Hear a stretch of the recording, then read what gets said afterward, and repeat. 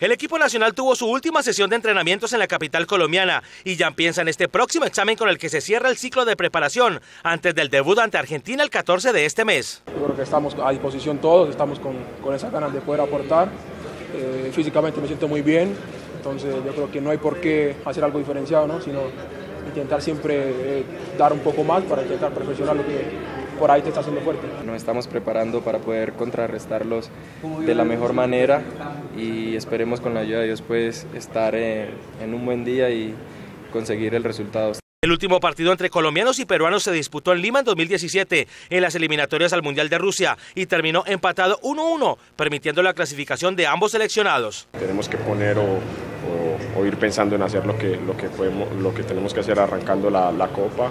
Eh, sabemos el rival que es Argentina, eh, la magnitud de, de, de, de, su categoría, entonces nosotros tenemos que, que tener esa, esa responsabilidad, esa jerarquía para enfrentar este tipo de partidos. El compromiso se cumplirá en el Estadio Nacional de Lima este domingo a partir de las 4 de la tarde. Después del encuentro, la selección viajará a su sede de concentración en Brasil para afrontar la Copa América. Colombia debutará en el torneo el sábado 15 de junio contra Argentina. Los otros dos rivales que tendrá el equipo dirigido por Queiroz en la fase de grupos serán Paraguay y Qatar.